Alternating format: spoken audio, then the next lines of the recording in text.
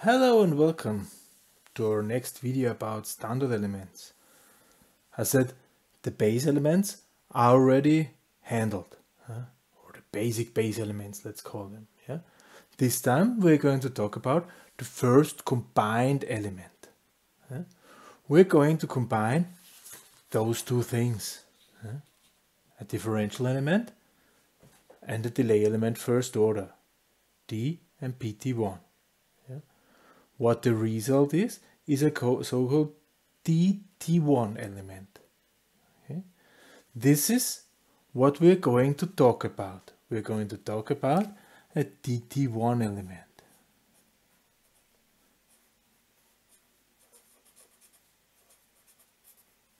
This DT1 element is basically a really existing D element. I said at the D element it's somewhat artificial and now we come to the D element which is existing in reality. Okay. How does do uh, how does these two things look like? We do have we do have a block uh, which is a D element.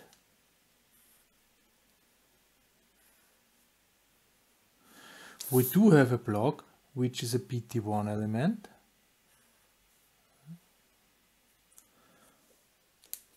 So here we have the PT1 and here we have the D element. And those two are in series. Here is the input xi from S and here is the output xo from S.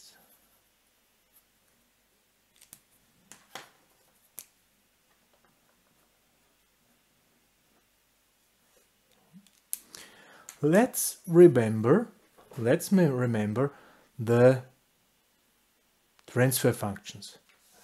For the D element, this was the transfer function of the D element. So this, this GS, GD from S equals KD multiplied by S. Okay? This was the transfer function of the PT1 element. So GT1 from S equals KT, I now write T, index T, that we know which K is coming from where, 1 plus ST. Okay. What is the total transfer function? The total transfer function of two in series are the multiplication. So G from S equals GD from S multiplied by GT1 from S. So the result is kd multiplied by s multiplied by kd 1 plus st. Okay, I'll write it a little bit different. So this is kd multiplied by kd multiplied by s divided 1 plus st. Okay. Now let's have a look at this. A constant multiplied by a constant. Two constants multiplied is a new constant. So basically here is k multiplied by s, 1 plus st. Okay. This is the transfer function of the dt1 element. Now, what is the frequency response? Just substitute all s's with j omega. So at top we have j omega k, yeah? and at the bottom we have 1 plus j omega t.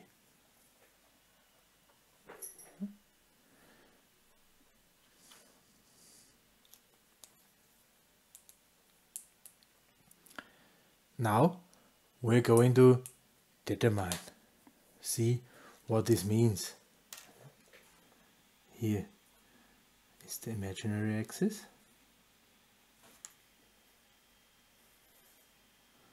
Is the real axis.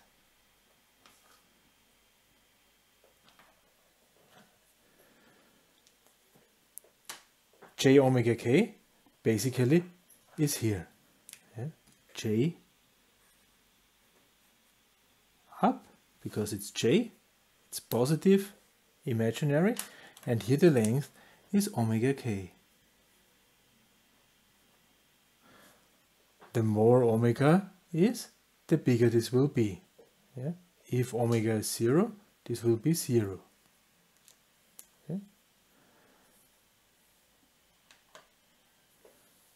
And here we have 1 plus j omega d.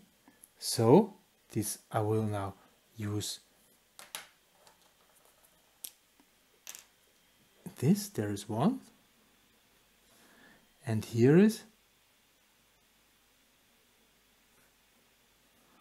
omega t. Yeah? And this is the part.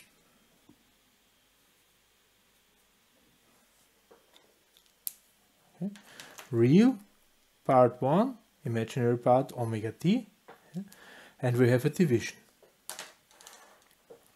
Let's think what this means. Eh? For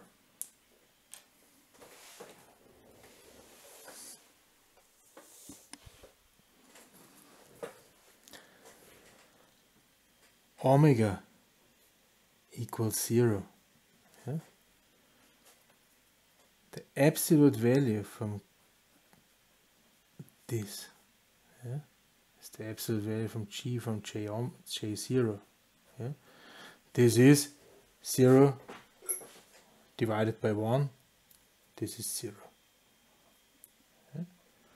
what's about the argument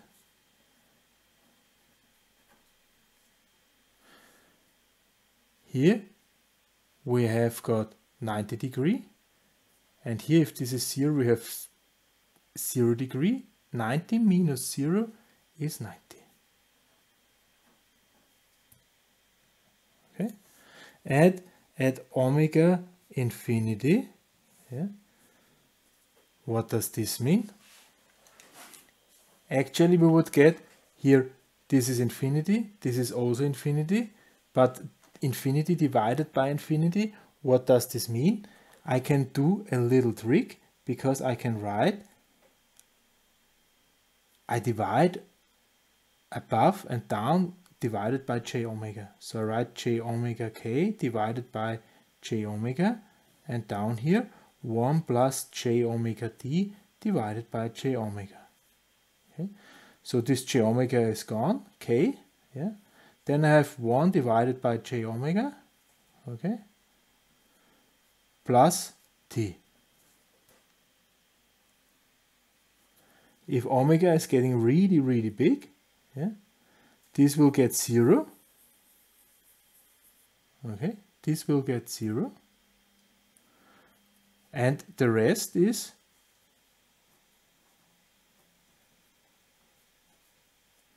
k divided by t. Okay. I hope that's clear. And what's with the argument? This remains 90 degree. If this is growing, growing, growing, growing, this will also get 90 degree. 90 degree minus 90 degree is 0 degree. Hmm? So these are the things of a DT1 element. From this transfer function and so on, we're going now to determine the step and the frequency response. So right here once again DT1 element. Yeah? G from S is Ks divided by 1 plus st. Okay? And g from j omega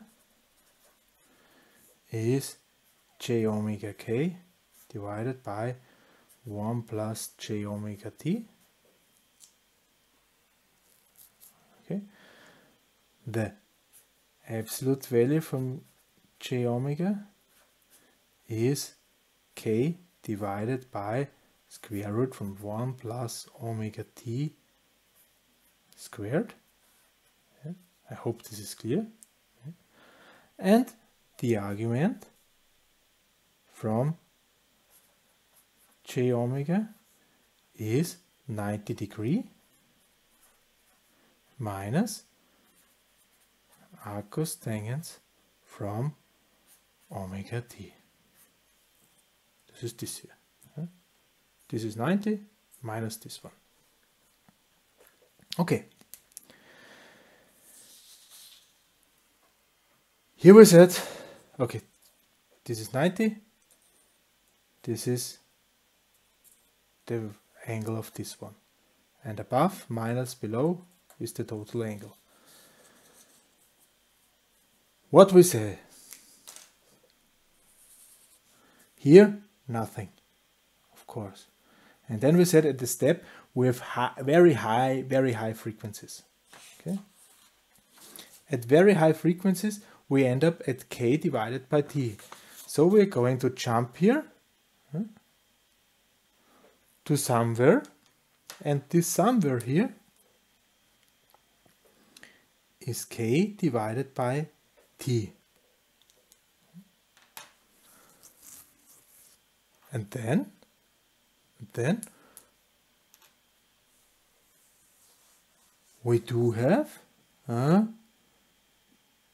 the PT1, the rest PT1. Here we see this T. Uh, after five T's, it's finished.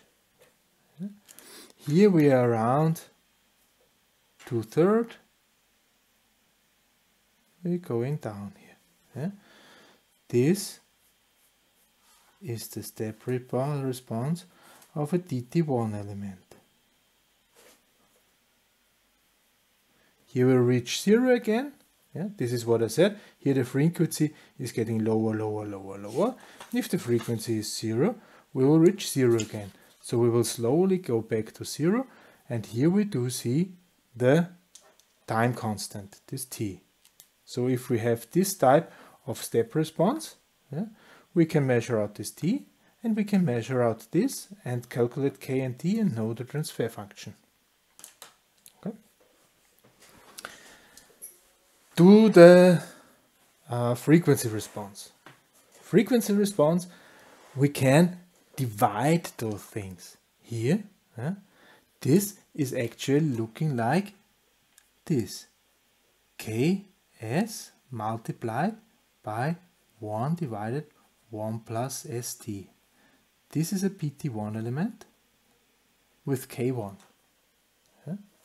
This is a PT1 element with K1 and this here is actually a D element with K. Okay?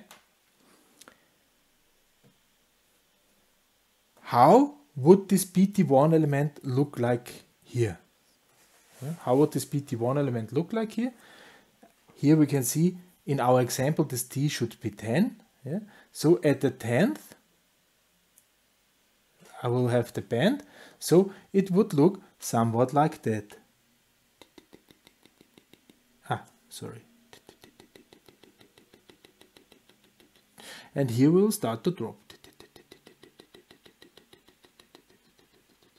That's basically the PT1 element. Here we will have 0. Here at the band we will have minus 45 and here we have then somewhere 90. Minus 90 of course. This will be the PT1 element, this part here. K1, one line, passed. Okay? How? Remember? Remember this. Here we have K, here we have omega G. Omega G is 1 by divided by t. omega g, 1 divided by t. k is 1 in this case. Now let's have a look at the d element. Yeah. Here the omega d would be 1 divided by kd. Okay, 1 divided by kd. And we have a straight rising. And we will always be at 90 degree. So here we are at plus 90 degree.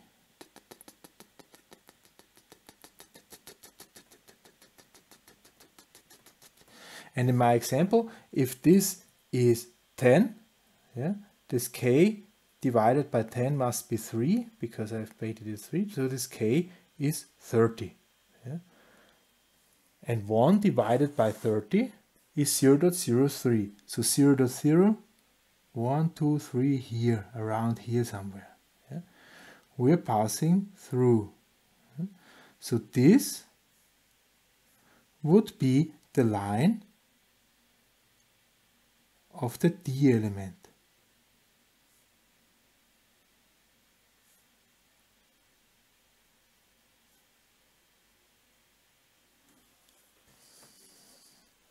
Okay. And now we have the multiplication of both. This is this D element, this is this PT1 element, and we have the multiplication. And I can tell you the multiplication in a Bode plot, in a logarithmic scale, a multiplication looks like a shifting. Yeah? Here we are at the one line. So we are not changing this. We are not changing this at all. Okay? Because this multiplied by 1 will look like this. Okay? And suddenly, starting at this point, at this very point, oh, maybe a little bit too thick, at this very point, suddenly this line starts to drop and this line starts to raise. Mm -hmm. What does it mean? Yeah. Let's say here we do have an amplification. Here we do have an amplification of x. Yeah. Whatever, however high this is right now. Yeah. And here we do have an ampli amplification of our right now y. The total amplification is x multiplied by y. Yeah? And here, at 10 times the frequency, I have here 10x. Yeah? And in the other case, at 10 times the frequency, I have a tenth of y. Yeah? And x multiplied by y is the amplification at this point. Yeah? And now the amplification at this point is 10, I should write it black because it was black, 10x multiplied by y divided by 10. This 10 is away and it's still the same. It's still the same amplification. So we're going to end up here. Yeah? We, there will be a horizontal line.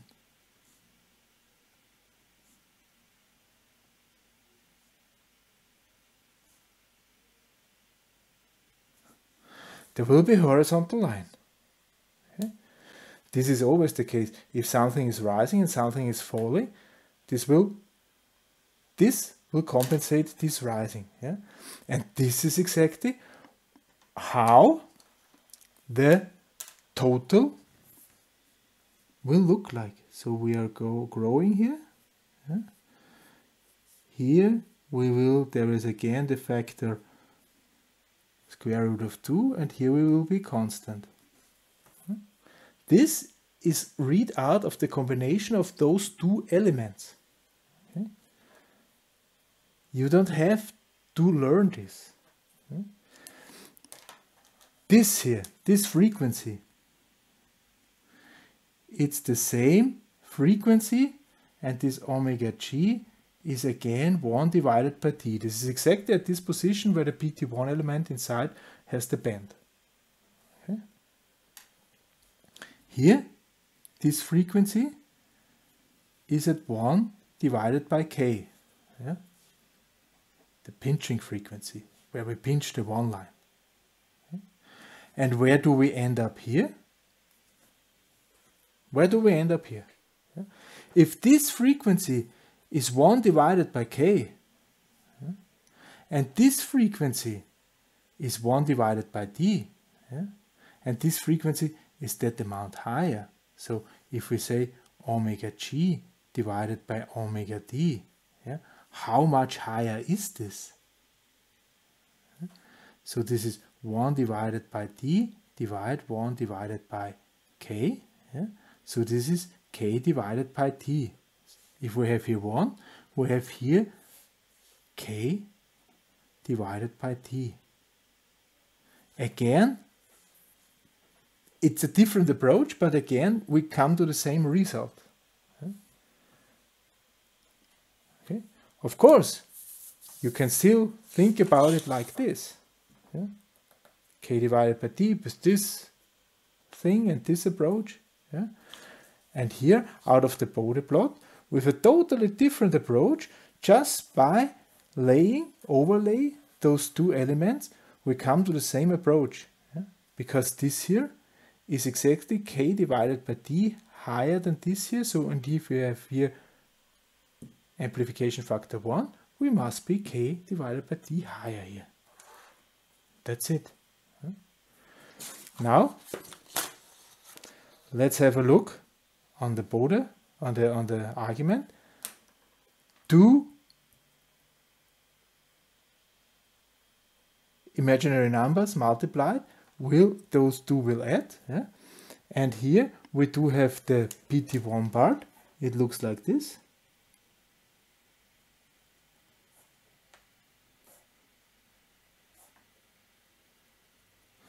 This is the d part so the dt1 part is simply this plus this and this is minus so it will get down yeah?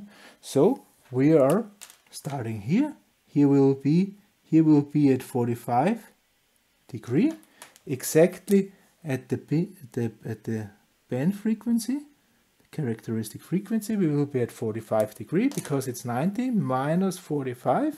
Yeah? And it will look like this. And somewhere we will get close to zero degree.